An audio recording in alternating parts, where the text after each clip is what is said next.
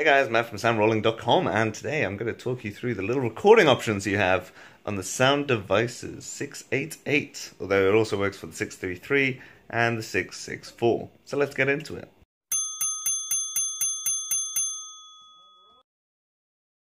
So you can get to this by pressing the menu button, going to recorder, which is number six, and then we can see the options here.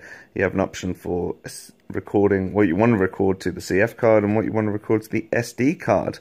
Um, I'll show you a few tips at the end of this video for how that can be better utilized. Um, but usually have them both as just a copy of each other. And now these are the options. So WAV poly just means that you're getting all the different tracks, even your mix tracks, and you're getting them all in order, but you're getting them all in one file and that's really useful for post-production and just labeling purposes because then people don't have to drag individual mono files in all together at a time, one after the other.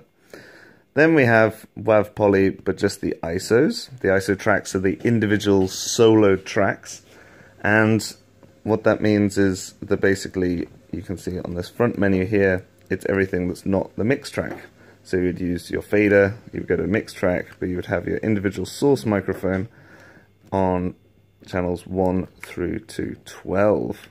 So it would just record those and it wouldn't record anything you did to the mix track. Then you would have uh, WAV poly L and R only, that's the left and right only, so that's the reverse of what I just explained. So instead of just recording the ISO tracks, it only records the left and right audio. Again, as a WAV poly, which means that you would still get the left and the right channel as a kind of stereo channel. Then, this is very similar again for X1 and X2. These are auxiliary ones, and if I change the meter view, they look just like the uh, left and right view.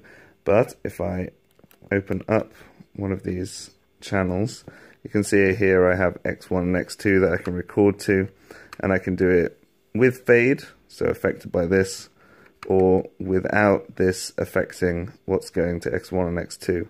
So essentially it's just a copy of the ISO track.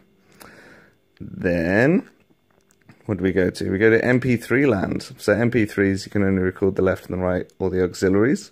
This is really useful for transcription purposes.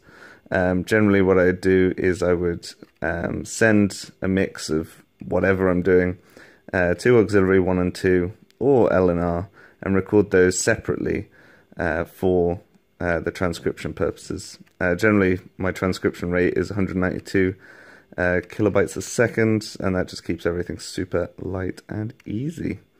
Then, for instance, if I went over to the other side, I could choose WAV poly, and then I still have all the files saved as a backup to the CF, and transcription just saved to SD for quick offload and delivery.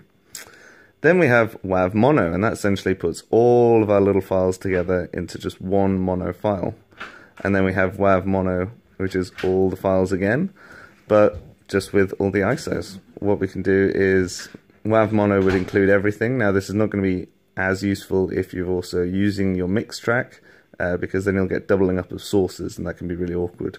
Um, so WAV mono might be the option for you. I personally, again, generally use, uh, if it's not anything to do with um, like transcriptions or MP3s, this is usually my setup. Um, although, depending on what you need for an editor, uh, you have everything at your disposal. So, for instance, you could do one as just ISOs and one as just mix track for um, audio uh, for the editor. So, just have an experiment and play around and uh, So, if you like that video, you can leave comments down below. You can obviously hit the like button and uh, subscribe for hopefully more daily stuff. And I will see you next week.